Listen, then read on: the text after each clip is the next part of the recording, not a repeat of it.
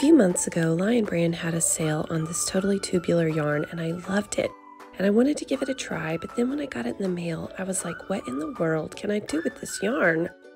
So this week I decided to come up with a quick and easy pattern that is super beginner friendly and makes a really beautiful cowl. It's very quick, it's very easy. So I'm going to show you how to make this today. For a full list of supplies, see the description box below. So let's look and see a little bit about this yarn. It is 87 yards or 80 meters in length. It is a size 7 jumbo and they suggest using a size Q 15 millimeter hook. And I'm going to be using Red C for my tutorial. This is what it's made out of. A good substitute if you can't get this yarn is Yarn Bee Astounding. You can find this at Hobby Lobby. It is $6.99, so it's a lot pricier. And it also has less yardage, so be sure to pay attention to that. It only has 43 yards, which is about half of what Lion Brands does. And it also labels it as a size 6, but I'm going to show you the strands side by side. These are exactly the same in, I mean, every way. I, they feel the same, they look the same, so um, while one is labeled 6 and one is labeled 7, they are the same. So um, I'm going to be using a size P hook because I crochet very loosely. That is a 12 millimeter hook. You could use a size Q hook, but I'm going to be using a size P hook because I do crochet so loosely. You're also going to need a stitch marker and a tape measure. So begin with a slip knot. And this is so easy, y'all. You're going to make a chain in multiples of two until it measures about 24 and a half inches. So this is going to be the circumference of the cowl. And I want my width of my cowl to be 12 inches or so. So in order to do that, I'm going to have to multiply it by two. And I'm going to give myself just a little bit of slack. So that's why I say make it in multiples of two until you reach about 24 and a half inches in length. Then you're going to take your chain and be really careful not to twist your chain. And you're going to bring the ends together. And if you're looking closely at the stitches, this is the back loop, in my opinion. Um, normally people don't call it that, but I'm going to. So you're only going to go through that back loop. And in that very first stitch, I'm going to make a single crochet. I am not slip stitching to join, I'm just going right into the stitch pattern. So you're going to make a single crochet.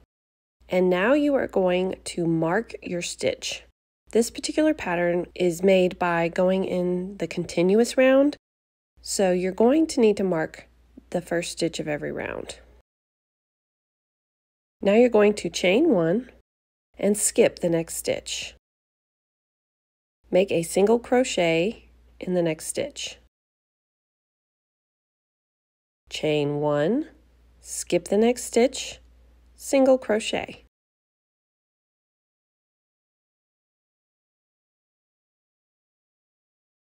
Chain one, skip the next stitch, single crochet. You're just going to continue repeating this stitch pattern all the way around until you reach your stitch marker. So you're just going to chain one, skip one, single crochet, chain one, skip one, single crochet, all the way until you get to the stitch marker.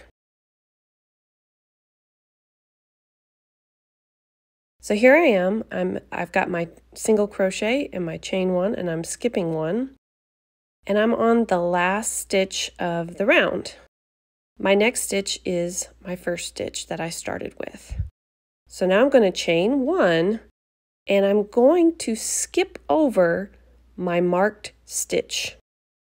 So I'm just going to skip right over it and go to that chain one space and I'm going to single crochet in that chain one space there.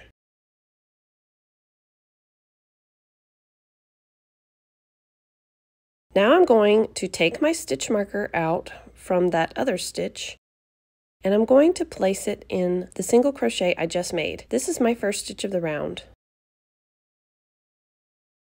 And now you're just going to continue chaining one and skipping one all the single crochet from here on out should be made in chain one spaces. So that should help you. So chain one, skip one, single crochet in the chain one space.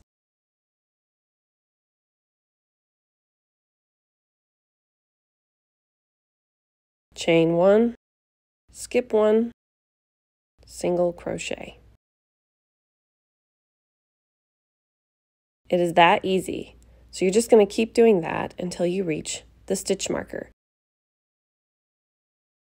So here I am at the end of round two.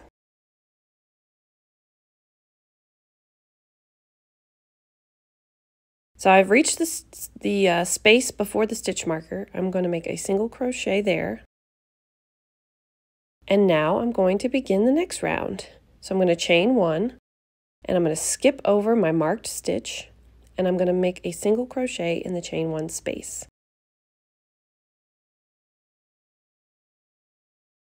Now I'm going to take the stitch marker out and put it in the single crochet I just made.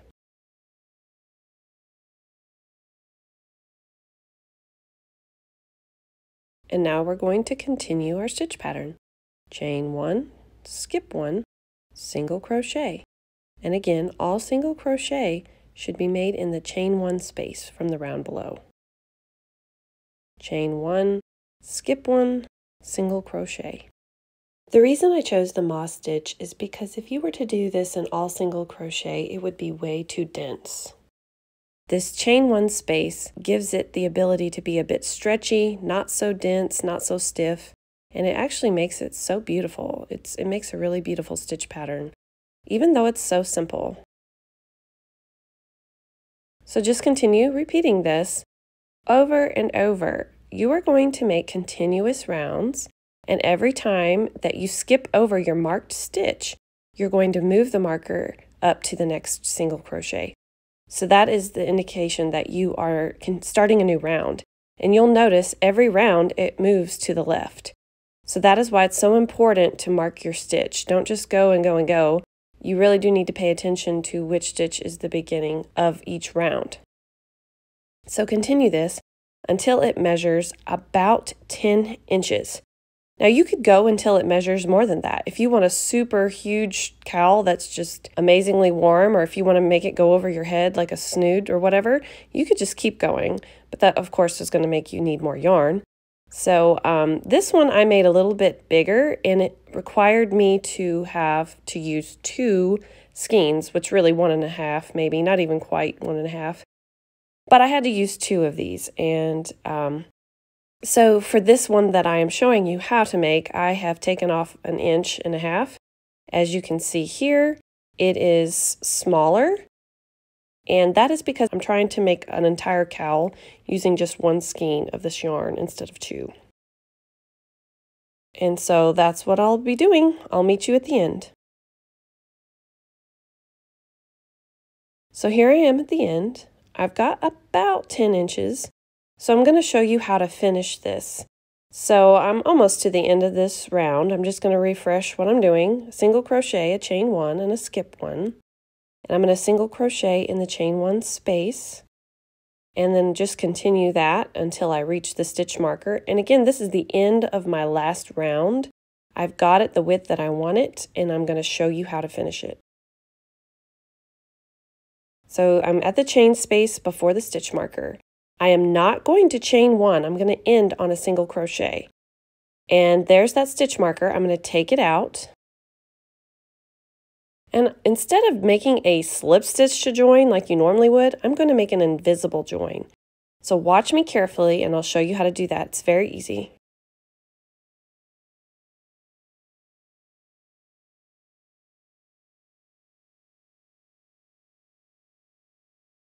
That's it. Now you're just going to fasten off and weave in your tails.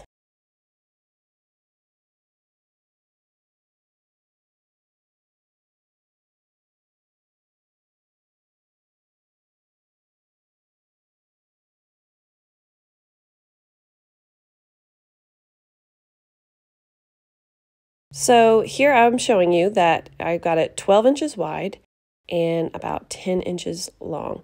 So you can make it as big as you want, but it's totally up to you. I just wanted to try to get it with one skein. Now you can see in this bigger one, the stitch pattern is actually a little bit prettier in my opinion, but it is going to take more yarn. So just keep that in mind. If you've got more than one skein, you could realistically make it just a little bit bigger, but here's what mine looks like in the smaller size.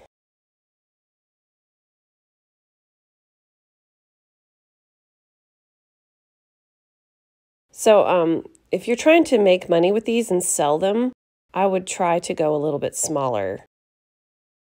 And also I was going to add, you could add fringe to this. That would be really pretty. But I'm not going to add fringe to mine. I'm just going to weave in the tails and be done with it. That's it. It was that simple. I hope that you enjoyed this tutorial today. If you did, please give it a thumbs up, and if you haven't already, please subscribe to my YouTube channel. Thank you so much for watching.